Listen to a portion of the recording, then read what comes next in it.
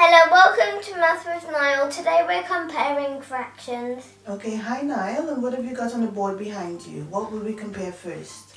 One whole against one half. Okay, good. So can you put, how would you write one whole and how would you do one half? So one whole, you would just put one, and one half, you would put one out of two. One out of two, and we put a line in the middle. Okay, very good. So which one is bigger? One whole. Okay, so what sign can you use to show the bigger one? Oh, okay. Um, where's my pen?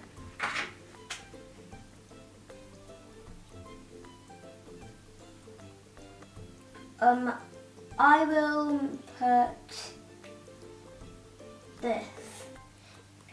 It's a symbol that's less than, no, more than. More than? It's a modern symbol and it's and a good way to remember it is that this is a crocodile's mouth and the crocodile's greedy so he, he always wants to eat the bigger number. Oh, good one. Okay, so that reads one is more than half. Mm-hmm. Yeah. Okay, good. You can leave the one half where it is, take down the whole, and can you put one quarter there? Um, see. One quarter. One quarter. And can you show us what the fraction one quarter looks like?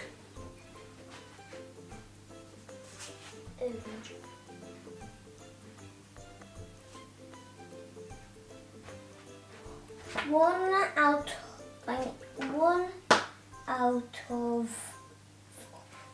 one out of four. Um, Is something missing? yes, the line. Okay, and check the sign to compare the sizes of those fractions. Oh, this has to be the other way around Can you explain why? because it's one fourth, and two of one, two of these makes this. Okay, so which one's bigger? This one. Okay, so what sign should you draw? The less than sign. So this way. Okay, can you put the rubber on the board so that you don't have it in your hand? Yeah. You said that two of the quarters make one half. Yeah. Okay, can you show us what you mean? Can you get another quarter? Look what happens when I combine these two. It makes the same, The same as that one. the same. Okay, I see. So Yeah. two quarters make is the same as one half. Okay, so take off the one that you just put on. So one quarter is definitely less than one half. Yes. Okay, good job. Let's do three quarters. So you already have one quarter there. So can you do change it to three quarters and explain what three quarters mean? Three quarters.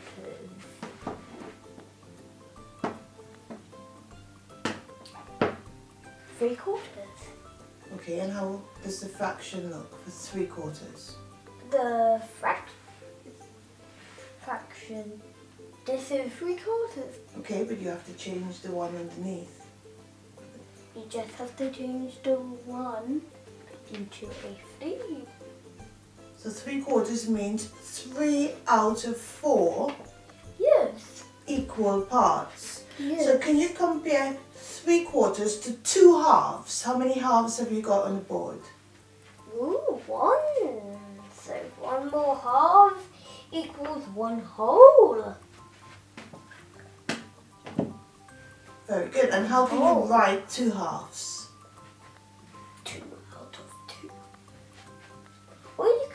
One. Okay, let's go with two out of two because I said two halves. Yeah. Two out of two. Okay, so which one's bigger? Is the sign correct or do you need to change it? The sign's correct. Okay, can you explain why?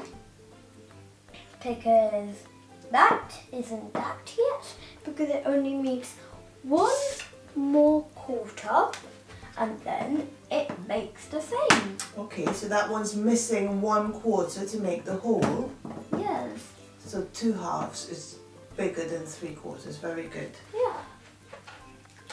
Okay, let's look at one quarter and two eighths.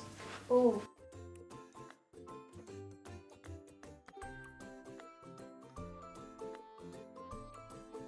Okay, let's look at those two factors, one quarter and two eighths. Compare the sizes and what do you think? Which one do you think is bigger? Hmm.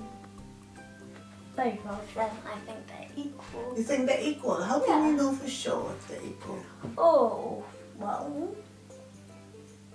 Now we just have to see if they are equal. So let's see if there's any more yellow left.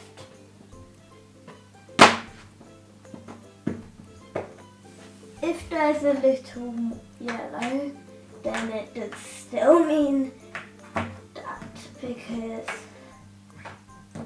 Hey. Come on. Okay, this is the way I learned it in school. Okay, are they equal? Yes. Is there another way we can check to see if they're equal? What if we Um, join them together? Join them together. Yes. Join them together so that. Oh, that's interesting. Oh yeah.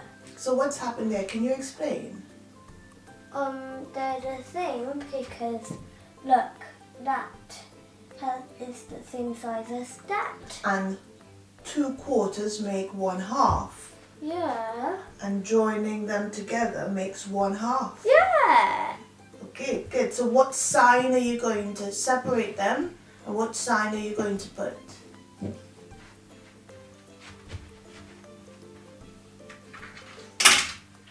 Equals. Ooh, very good.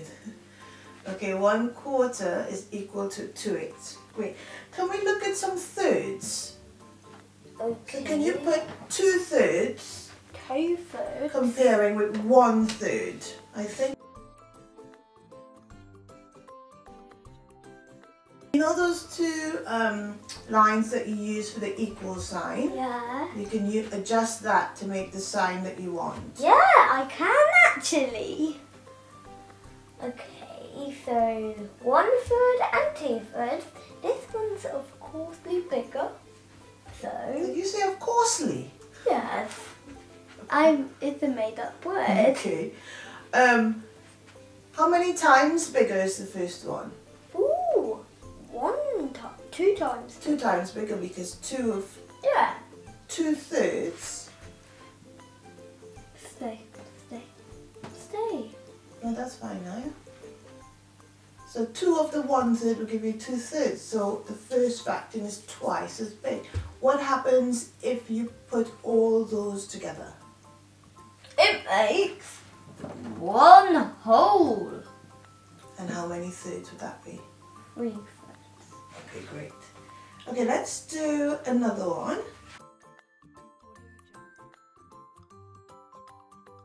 Two out of six. They're equal. Are they equal? Yes, because two thirds and if you combine two thirds together, what fraction would it make? Two thirds. Why don't you just compare the size, put one on top of the other so we can see for sure? Yeah. Okay, very good. So they're equal. Yeah. And so change your sign so that we have Hmm. the correct sign. Good job. Now,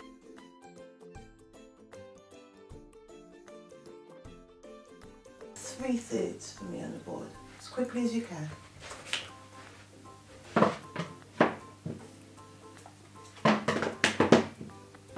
And the fraction to go with it.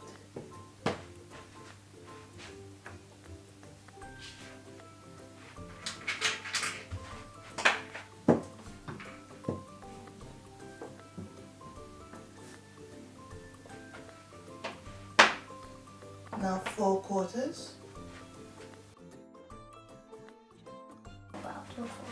The left. Good. And let's do one more. Let's do five fifths. Five fifths.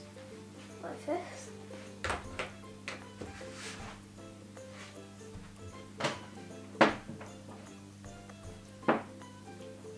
I think I know what you're going to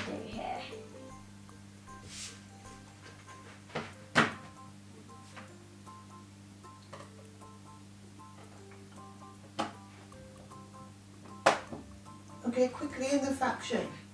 Okay.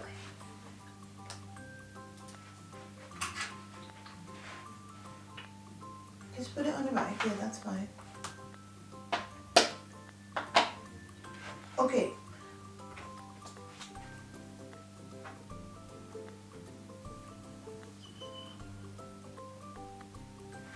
Okay, what do all of these have in common? They all have one whole. They're all equal to one whole. And how can you tell by the way the fractions look that it's going to be equal to one whole? Um, they all have the same amount. Um, not, so this is four lots of four. This is five lots of five. This is two lots of two. This is three lots of three. And this is one lot of one. Well, three out of three and 5 out of five. So tell me about the number at the top and the number at the bottom. Um, so out of kind So five out of five. Yeah. Those two numbers are what?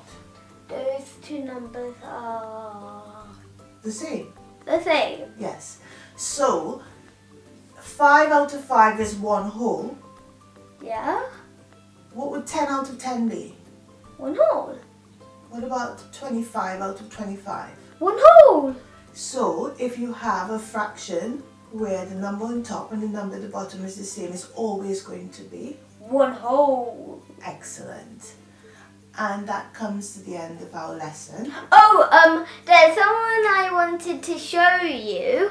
Um, his name's Frankie. Um, it's my new dog. It's my new, it's my new dog. If you haven't watched the last video, then watch it now because we said we were gonna get Frankie. That's the day we were getting him.